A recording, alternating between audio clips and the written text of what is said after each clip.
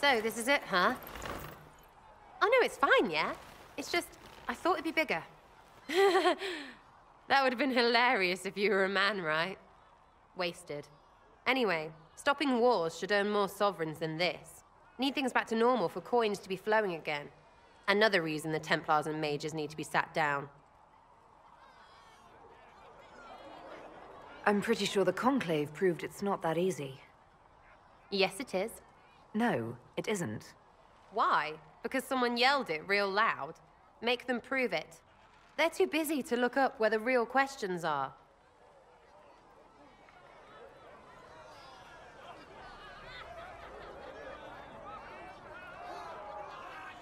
Right. They should know it's a simple job. End all war, stitch the sky. The easy one first, of course. You're daft, yeah? Most people get special, they lose their snark. Can't see how stupid it all is. I think I'll like you, Lady Herald. Maybe you are a little touched, yeah? I think I'll enjoy having you around, Sera. I hope you'll feel the same. Lady Trevelyan is cheeky. See you. Herald. I have to do something about that.